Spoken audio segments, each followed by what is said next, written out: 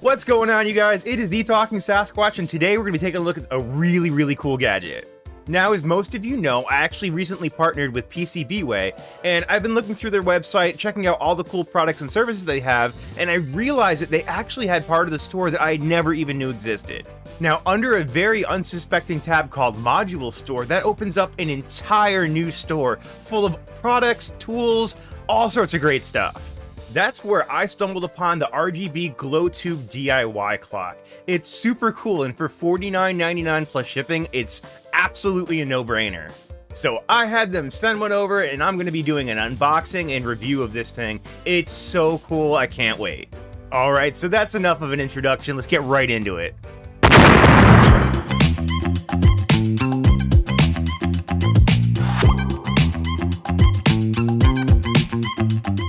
Alright, so it came in, it's got its outer packaging right here, and yeah, pretty cool. I have no idea what that says, but let's throw into the top-down camera and uh, crack this thing open.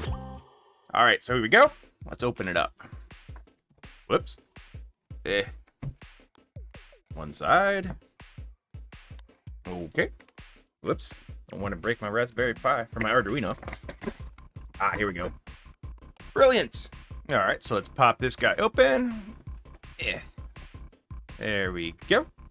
Got some key descriptions. This kind of, I guess, goes through the workflow of it. It's got a couple languages, usual stuff. And, ooh, here we are. Awesome. Turn it around. Smash into all the stuff on my desk. But look at this. All right, let's see if we can't get a little bit better look at that. Now, we have right here, we know what that is. That is an ESP32 WROOM. Pretty cool chip right there, and that powers the whole clock. All of these are where the individual IPS screens plug in. Then we have mode and some arrow keys and a power button. On the side here, we have USB-C, which is C stands for USB King. It's the best USB of all time. So that's really, really cool. And then we have our globes up here. So let's start pulling stuff out of here and we can start assembling. So let's see if we can scooch this down a little bit. Place this right here. And then we can pull this out. These are our globes, so let's put these right over here. And now let's get underneath this and see what else is down here. Okay, cool. So we have a USB charging brick. Put you here. Uh, Allen wrench, if you want to take the whole thing apart. Over there. A actually really nice USB-C cable. Um, 90 degree bend, it's braided. It's actually a really, really nice cable. Um, kind of impressed by that. And then these must be all of the screens. So these are to get plugged in. So we'll take those out. I think that's the rest of the box. Really nice box, honestly. But, and here are the rest of these. All right, so now we've got a little bit of a different angle so we can see what's going on a little bit easier, but let's start plugging our screens in. It's pretty simple. They just plug straight in. Of course, the ever so satisfying screen pulse. Pull the films off. Oh no. There we go. Done. And all we gotta do is pop the globes on. Super easy, nothing particularly hard about any of this process. They did such a nice job engineering and building this whole thing. I'm amazed it's 50 bucks. It's fantastic. You can buy these on Amazon, by the way, for like 190, so it's an absolute steal. There we go. Let's get it plugged in. We take a look. All right, got our USB cable right there, and give it a little plug in over here. Whoops, I missed. Boom, here we are. Oh, it's so cool. RGB in the background. Um, let me fiddle around with my camera settings real quick, see if I can get you a better visual. Uh, quick little fiddling with exposure now, we can kind of see what's going on. It's super cool. You've got the IPS displays looking like Nixie tubes. Really cool. We can go into the options here, and I've already just set the time on it, but you can actually change the style right on the uh, clock itself. So boom, boom, boom. Those come free installed, so that's pretty cool. Check out the other one while we're in here. The punk style. That one's pretty fun. I like the original, that's okay. And then you can also change the RGB mode. So right now, you turn it on or off. You can change how bright it is. You can also change the settings. You can set every single bulb the same. You can actually set the single um, each tube's RGB. You can make it a rainbow mode, which is what it's doing right now. Chasing is actually my favorite, so it kind of goes through all of them. Uh, a breathing mode where, you know, it does breathing. I'll show you that one. Oops, it's doing it. So it just kind of breathes colors on and off. But my favorite is chasing mode. And speed, you can change the speed, how fast it rotates. Whoops, let's go back to speed. That's pretty cool. We'll leave it there. You go back. Obviously, you can set how bright everything is. I'm to leave it at 100 because max brightness is where I'm at. 100%. But yeah, it's really, really cool. I love this thing. I'm to show you actually how on using the PC you can customize even further from here. So let's hop up there.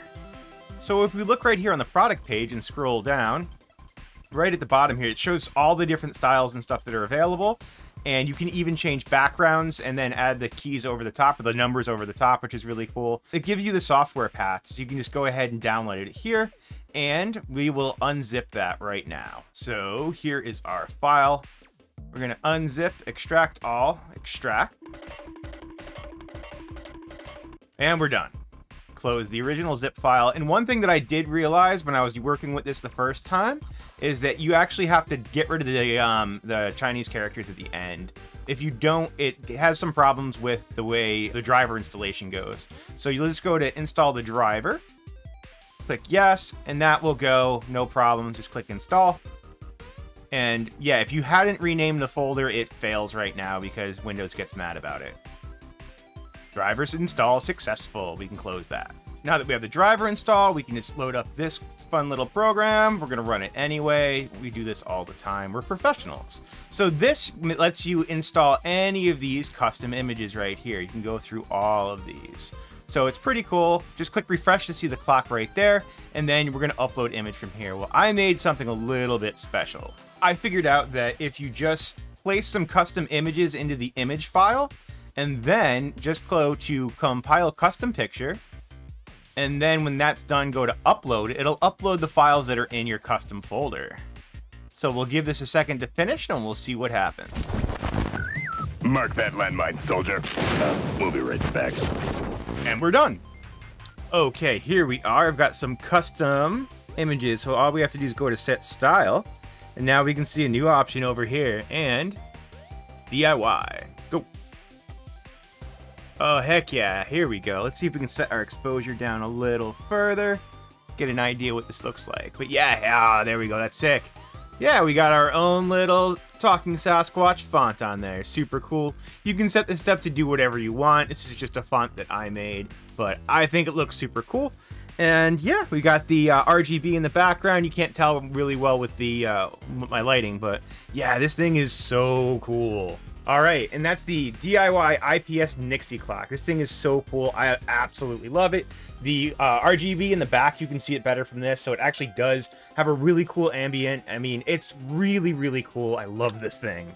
Thank you so much to PCBWay. Check them out down below. They've got all sorts of cool stuff. I really appreciate you sending me this out to look at. I've got a lot more cool projects to do, which are going to use some of their other services, so look forward to those in the future. Thanks a lot for watching, and we're going to catch you next time.